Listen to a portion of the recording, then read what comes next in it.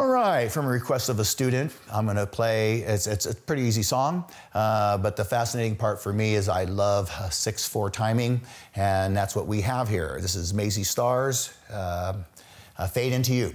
And so um, it goes one, two, three, four, five, six, one, two, three, four, five, six. And the main hits on this song are one and four. And I'll show you what I mean. Let's start on our A chord, okay? And so this one here is gonna go uh, one, two, and three, and four, five, and six, and.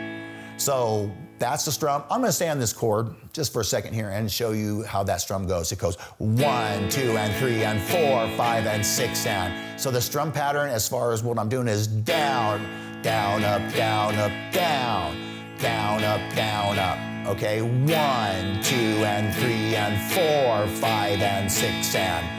Um, a great timing, uh, one of my favorite timings. I love 6-4 um, and 12-8 as well. So here we go. Uh, so it goes one, two, three, four, five, six, one, two, three, four, five, six, and then that's just one measure, and then it goes to an E chord, and it goes one, two, three, four, five, six, and then it goes to a B minor chord, and it holds it twice as long. One, two, three, four, one, two, three, and four, five, and six, and okay. So here, here's the whole thing.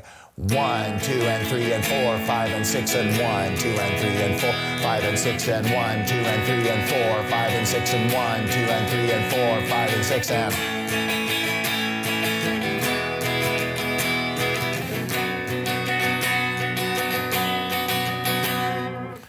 There it is, Mazzy Stars, Fade Into You.